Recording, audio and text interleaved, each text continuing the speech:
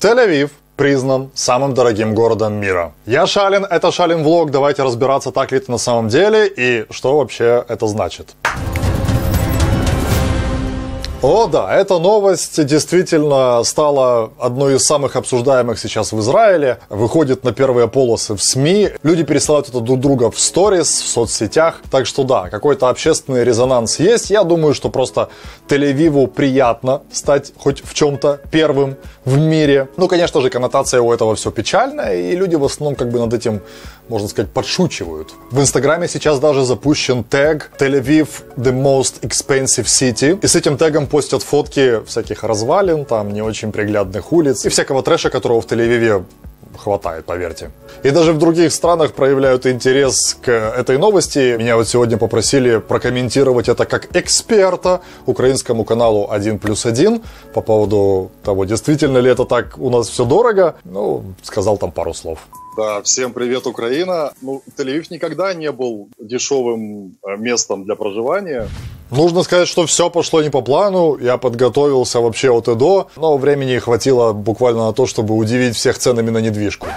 Итак, давайте же сегодня в очередной раз покопаемся в этой теме и разберемся, насколько у нас дорого, что именно, сколько в общем нужно денег иметь, чтобы жить в Тель-Авиве или же в агломерации Тель-Авив. Надеюсь, у вас крепкое сердце, нам инфаркты не нужны. Сразу давайте проясним, в Тель-Авив действительно очень, очень дорогой город, так было всегда. Это все было доказано по результатам исследования Economist Intelligence Unit, аналитический отдел Economist Group. Значит, ребята пишут, что в прошлом году первое место занимал Гонконг и Париж, делили это место между собой, а теперь у нас Тель-Авив выбился в лидеры. Лондон по этому исследованию занимает только 17 место, Москва 96 И это она уже поднялась на 10 строчек за год. Авторы исследования сравнили цены на товары и услуги в долларах США по 173 городам мира. Ну, понятно, все мы знаем, что Израиль и Тель-Авив в частности всегда были очень дорогими, дороже, чем многие страны, которые, ну, более, можно сказать, развитые, чем Израиль. Такая уж наша историческая доля. Самый ли дорогой Тель-Авив вообще во всем мире? Это, конечно, смотря кого спрашивать и смотря что считать. Потому что есть исследования, вот на которые сейчас опираются все эти новости. А есть, например, сайт Numbeo, да, в котором люди заходят и постоянно апдейтят цены на продукты, на услуги, на жилье. Это довольно-таки живые цифры, которые постоянно апдейтятся, и из них можно делать сравнение и понимать, что происходит вот прямо сегодня. Так вот, по рейтингу сайта Numbeo, на самом деле Тель-Авив не самый дорогой город в мире. Есть города и дороже, но, опять же, смотря что мы смотрим, есть Бермуды, есть там всякие Тюрихи, и сам Нью-Йорк по совокупности услуг и вообще проживанию в этом городе, он считается дороже. Так что, если верить их статистике, уровень жизни, который можно себе позволить в Нью-Йорке, примерно 23-24 тысячи шекелей, в Израиле будет стоить 19.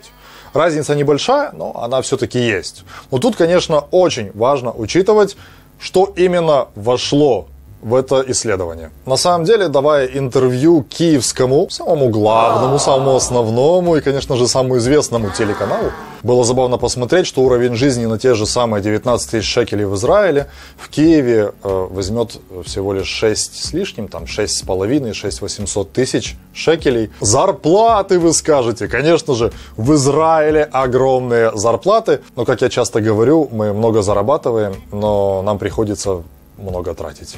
Так что Тель-Авив занял первое место по дороговизне жизни. Это, так, в моем понимании, не совсем прям супер однозначно, но он все равно один из самых-самых дорогих городов в мире. И почему же эта ситуация усугубилась именно сейчас? Ну, во-первых, курс доллара. Сейчас курс доллара у нас 3.15, а был еще недавно меньше. Это один из самых низких курсов доллара за последние десятилетия уж точно. Поэтому, если пересчитывать в доллары, то стоимость нашей жизни сразу сильно повысилась. Плюс Плюс ко всему рост цен по всему миру, Конечно же, Израиль-то не обошло стороной. Рост цен на продукты сейчас достигает до 10%, как пишут в СМИ. Выросла цена на сырье, выросла цена на доставку в Израиль, а как вы знаете, Израиль не имеет нормальных сухопутных границ, которыми может пользоваться, поэтому все в Израиль доставляется по морю или же авиасообщением. Сейчас любые пересылки контейнеров, товаров, мелких, больших посылок стало намного дороже, как мы все знаем. И из-за того, что внутреннее производство Израиля во многом опирается на внешние поставки сырья, то получается, что и внутри товар, производимый в Израиле, он еще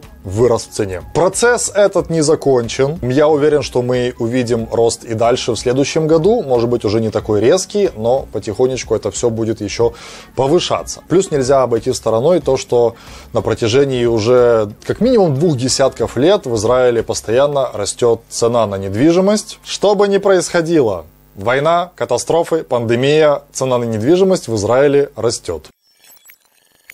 Кстати, если вы думаете, что израильтяне сами как бы довольны тем, насколько они много зарабатывают, и как они много тратят, и как у них все дорого, и как прекрасно, и что о них пишут в СМИ по этому поводу, то на самом деле не совсем так. В Израиле периодически даже проходили уже в прошлом протесты против дороговизны жизни. Периодически эта тема всплывает в Кнессете, да, в парламенте израильском. Об этом говорят политики. Это как бы предмет для постоянных разговоров. Каждое правительство, которое приходит на смену предыдущему, оно обещает каким-то образом понизить цены в той или другой области. Иногда, очень редко это происходит, но в основном, конечно же, потом цены вырастают или же не получается вообще. Экономика есть экономика, она как живой организм. Но в связи с этим буквально недавно были уже несколько статей, где журналисты пытались подсчитать, сколько же нужно в общем полноценной израильской семье для полноценного важно, полноценного проживания в Израиле. Почему я делаю такой акцент на слово полноценное? В каждой стране и, наверное, можно сказать, в каждом кластере доходов у людей есть какие-то определенные привычки и образ жизни, который считается нормой. То, что, может быть, для вас не считается нормой, может быть, в Израиле считается и наоборот. То есть это тоже нужно учитывать. Так что понятие бедности и богатства, оно не константа, оно может просто отличаться от понятий той страны, того города, той прослойки, в которой живете конкретно вы. Итак, насколько же, насколько же дорого в Израиле? Думаю, это видео будет интересно в основном людям, которые живут не в Израиле, поэтому изначально я все цифры перевел в доллары. Слушаем. По усредненным подсчетам, семье из четырех человек, то есть два родителя и два ребенка, одного ребенка взяли школьного возраста, другого дошкольного возраста. Для полноценной жизни, как принято считать ее в Израиле, такой семье в месяц нужно приблизительно 8 тысяч долларов нетто. То есть, как мы знаем, налоги в Израиле также довольно-таки высокие. Чтобы заработать чистыми 8 тысяч долларов, вам нужно получить зарплаты приблизительно на 12 тысяч долларов. Ну, конечно, говорится совокупная зарплата жены и мужа. И вы скажете, вы что, с ума сошли, что ли? Что, что вы туда запхали в эти суммы вообще? Если в общем рассказать, что входит в эту сумму, то это, конечно же, съем жилья не в Тель-Авиве, да, где-нибудь в агломерации. Это расходы на продукты, несмотря на цены на продукты. Разница в цене продуктов в Израиле может быть не такой большой, как, например, я видел в Киеве, да, где есть люксовые какие-то продукты, а есть народные. В этот бюджет входит владение и обслуживание машиной, выход 4 раза куда-нибудь погулять вместе с семьей, то есть да, там в ресторан какой-нибудь или в парк развлечений. Входят расходы на учебу и на детский садик. Тысячу шекелей заложили в этом расчете на обновление техники в доме. Дальше связь, интернет, телефон, телевидение. Один раз поездка за границу, на это тоже заложено 1000 шекелей в месяц. А поездка за границу, нужно сказать, для израильтян-то практически Обязаловка, опять же, сухопутные границы перекрыты, страна очень маленькая, поэтому, чтобы увидеть что-то, кроме того, что вы уже видите всю свою жизнь, вам нужно просто выехать за границу. Возможно, вы скажете, это какая-то просто запредельная сумма. Э, как, как вообще семья может потратить эти деньги? Куда они их вообще девают? Что происходит? Чтобы не быть голословным, я взял и приблизительно, конечно, пересчитал свои расходы в месяц. Меня иногда спрашивают видео, наш бюджет, сколько мы тратим, часто со мной спорят, что можно тратить намного меньше, и я согласен, я знаю, как жить намного-намного скромнее в Израиле, но поверьте мне, мы с Аленой живем в нашем понимании на каком-то базисно-среднем уровне, пытаемся останавливать свои какие-то лишние траты, абсолютно не гонимся и не покупаем бренды, ну, разве что, наверное, совсем не экономим на еде. Окей, наши траты на двоих и на двух котов, они выходят где-то в 5000 долларов в месяц. Так что я вполне могу себе представить и поверить, что семье из четырех человек, возможно, родители в себя в чем-то будут ограничивать, а детям давать больше, и в конце концов у них будет на 3000 долларов чистых расходов больше. Вполне логично. К сожалению, в этом видео мы не сможем проговорить просто все цены на все продукты и услуги, но нужно понимать просто, что на какие-то, возможно, продукты у нас будут похожие цены. А то, что вам не очевидно, например, услуги, то, что вам кажется элементарным и дешевым, в Израиле это будет стоить космических денег. Когда мы говорим о Тель-Авиве, что же в Тель-Авив отличает от остальных городов в Израиле? Почему же у него пальма первенства по дороговизне? На самом деле это только из-за цен на жилье. В остальном Тель-Авив, в общем, более или менее такой же город, как и все остальные. Возможно, там нет таких особо крупных супермаркетов. Они строятся в основном там, где есть место, немножко подальше, чем сам Тель-Авив. И нужно понимать, что Тель-Авив это довольно такой маленький пятачок, окруженный городами-спутниками, которые, в общем-то, уже слились воедино. И это довольно-таки большая агломерация.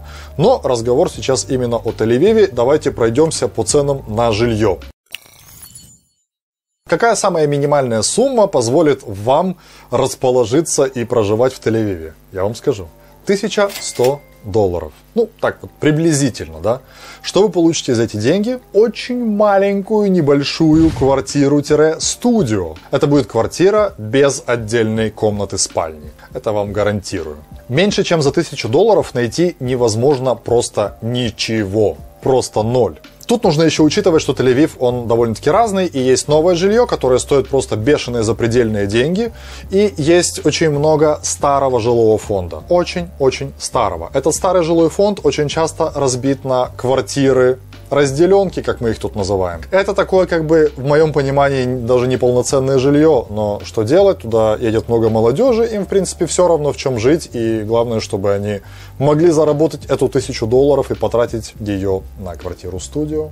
Да. То есть, да, за эту сумму вы получите абсолютно базисное возможно, не совсем комфортабельное и очень старое жилье. Тут еще маленькая ремарочка. В Израиле квартиры сдаются абсолютно-абсолютно пустыми. Редкие единичные случаи, когда квартиры сдаются уже с мебелью, с техникой. С техникой я вообще даже такого не припомню. В 99% случаев у вас будет абсолютно пустая квартира. Вам туда нужно все еще купить. Ну, разве что кухня у вас будет и сантехника. Плюс специфика не только Тель-Авива, но всего Израиля. Маленьких квартир практически не существует. Причем в Тель-Авиве с этим ситуация намного лучше. Опять же, как я уже сказал, старые большие квартиры разделяют на много маленьких. Но в новых домах в Тель-Авиве уже есть как бы там двухкомнатные квартиры, потому что цены уже такие запредельные, что можно уже и, знаете, сокращать метра, чтобы люди могли себе позволить купить хоть что-то. Но только мы выходим за пятачок самого центрального Тель-Авива, и все. Одна двухкомнатные квартиры заканчиваются напрочь. Их просто просто практически не существует. Трехкомнатная квартира – это тоже, можно сказать, меньшинство на рынке. Основная часть квартир – это 4-6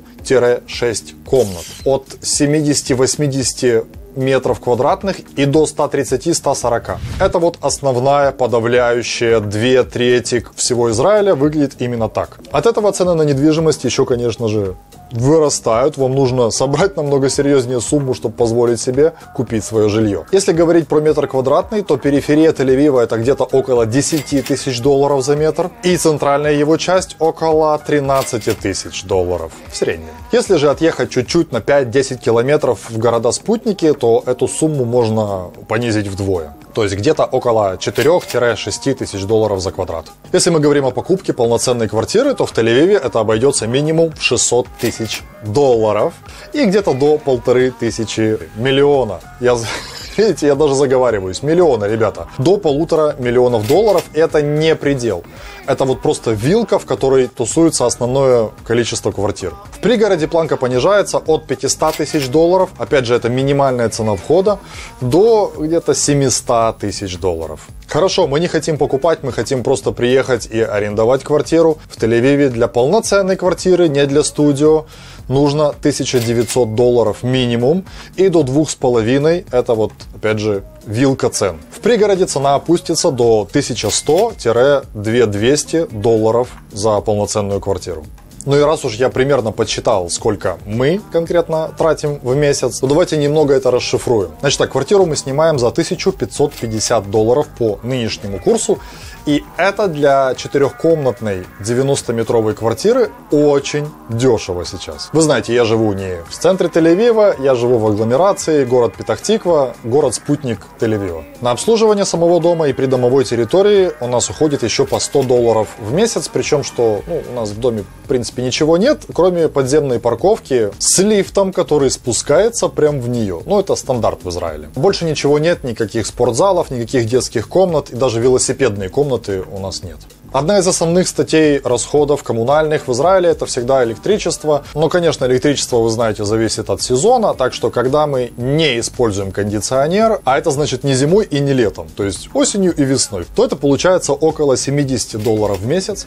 Когда же мы используем кондиционер, это, наверное, 2-2,5 месяца летом и столько же месяцев зимой без перерыва абсолютно. И выходит около 200 долларов в месяц. Также многие знают, что в Израиле существует существует такой муниципальный налог под названием Арнона. Это налог, который вы платите в зависимости от метража вашей квартиры в мэрию. То есть этот налог не платит хозяин квартиры, а платит именно тот, кто в ней проживает. Окей, в Тель-Авиве Арнона одна из самых низких в Израиле вообще, как ни странно. Понятно, что все зависит от метража, но в среднем где-то 100 долларов в месяц. В пригороде же Тель-Авива наоборот будет Арнона выше. Ну вот так это все вот тут происходит. По моим подсчетам это где-то 180 долларов в месяц. Если если взять в общем, в общем, все наши коммунальные, конкретно наши, у меня вышла сумма приблизительно в 450 долларов в месяц. Продукты. Продукты и вообще закупки из супера. На самом деле это такая супер холиварная тема каждый раз, когда я снимаю наши покупки, распаковки. Есть куча людей, которые нам пишут, что вы не там покупаете, вы не то смотрите, а в нашем дешевле и так далее. У нас не самый дорогой район, мы ходим не в самые дорогие супермаркеты. Я считаю, что мы покупаем по приблизительно средней цене по Израилю, но при этом, как я сказал, мы не экономим на продукты, мы редко смотрим на цену, но цены мы знаем. И да, сумму, которую я смог подсчитать, она включает в себя все покупки в супермаркете комплексно. Я просто не могу отделить отдельно продукты и отдельно там бытовую химию. Но в основном это да, продукты, химия, мясо, базар, если туда добираемся. Конкретно у нас выходит приблизительно на 1300 долларов в месяц. Ну, вот такая вот цена жируем. Так, что у нас дальше из больших трат? Конечно же, машина. Машины в Израиле исторически всегда стоили мега дорого. То есть налог на машины, он сейчас разный, он зависит от множества факторов, но может доходить до 90% от стоимости самой машины. И, например, у нас Honda Civic, Civic, смотря где, как говорят, такая новая из салона сейчас стоит 43-44 тысячи долларов.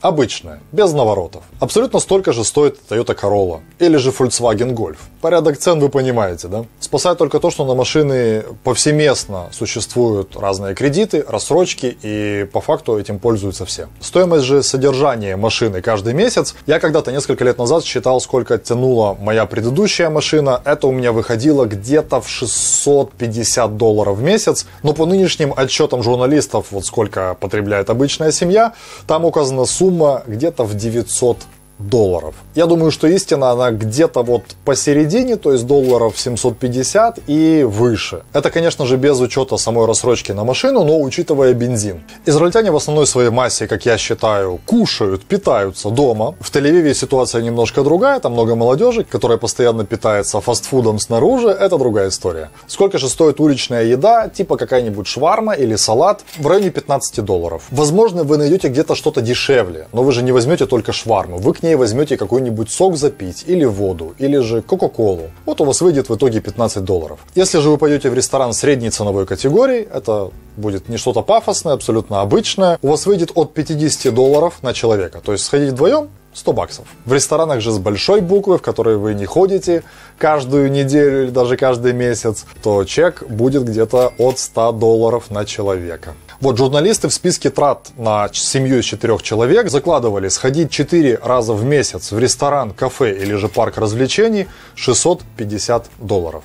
Так что вот так, некоторые вещи могут стоить в 2, может быть в 3 раза дороже, чем в ваших странах, а некоторые могут стоить и в 10 раз. Заранее никогда не угадаешь. Это все, конечно же, совокупность факторов. Налоги на ввоз, налоги на покупку, растаможка, популярность товара внутри Израиля, конкуренция какая есть. Это все влияет влияет на цену внутри страны. Ну и плюс ко всему у нас очень дорогая рабочая сила. Поэтому везде, где задействованы человеческие руки, будет стоить сразу очень дорого. Например, просто вызвать себе мастера, чтобы он что-либо посмотрел дома, будь то сантехник, прочистить трубу, это будет что-то около 80-100 долларов. Недавно мы вызывали мастера по кондиционерам, по знакомству, кстати. Это стоило нам 80 долларов. Мастер не сделал ничего, просто посмотрел и дал свой совет. Конечно же, если бы мы починили, то это бы вошло бы в стоимость починки. Мастер сказал, что он ничего не может починить тут быстренько, и сам визит стоил 80 долларов. У нас уже долгое время постукивает стиральная машина, мы не будем даже пытаться ее чинить. Ну, разве что я сделаю это своими собственными руками, я уже посмотрел кучу туториалов на YouTube. Но нам легче будет купить новую стиральную машину, чем за треть или даже половину стоимости от новой чинить старую. И так делает большая часть э, израильтян. То, что касается мастеров, починки, каких-то базисных абсолютно вещей, что, возможно, делают в ваших странах, в Израиле это жутко дорого. Как же вы тут живете? Как, как это все возможно вообще? Ну тогда напоследок поговорим про зарплаты, потому что вы же получаете. Да, мы действительно тут в Израиле получаем. Итак, минимальная зарплата в Израиле, она действительно минимальная, это действительно соблюдается. Сейчас с этим курсом доллара составляет 1680 долларов или же 9.2 доллара в час. Возможно, вам покажется, что это какая-то космическая просто цифра. Но на самом деле Израиль по минимальной зарплате занимает только 15 место из 36 среди стран OECD. То есть среди развитых стран средняя зарплата сейчас по Израилю это где-то 3 600 долларов. Но что такое средняя зарплата? Да, это как средняя температура по больнице. Намного более показательно медианная зарплата. Это зарплата вот ровно посередине. Ровно половина количества людей в Израиле получают меньше, и ровно другая половина получает больше. Так вот, медианная зарплата в Израиле на данный момент это 1900 долларов. Ну и напоследок, кто же тянет вверх наши зарплаты, кроме э, всяких начальников высшего звена, чиновников и так далее, это IT-сектор. Это наш знаменитый хай-тек, да, как называют его. Средняя зарплата сейчас в IT-секторе брутто, без учета налогов, около 8 тысяч долларов. Если учесть налоги, опять же, как я сказал, это все индивидуально, зависит даже от вашего семейного положения, 5700-6 тысяч долларов. То есть теперь вы понимаете, что самому нужно быть айтишником и жениться или выходить замуж тоже за айтишника, айтишницу. Вот тогда у вас будет все нормально. Но если же вы по другую сторону баррикад в медианной зарплате, для вас все довольно плачевно.